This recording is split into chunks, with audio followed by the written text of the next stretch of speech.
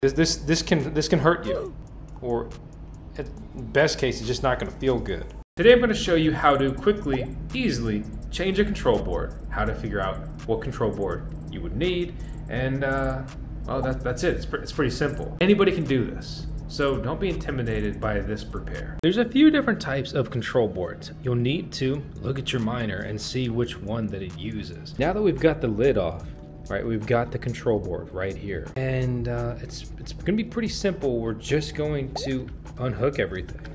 Right, so I'm gonna take these ribbon cables and remember where everything's going, right? And uh, I mean, pretty quick, we just removed all the cables. What I'm gonna do, and I have to illustrate how serious this is.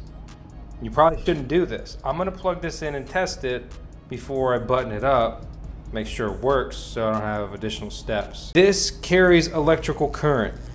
This will hurt you. This is, I'm not even kidding. This, this, this can, this can hurt you. Or at best case, it's just not gonna feel good. All right, that's the big disclaimer.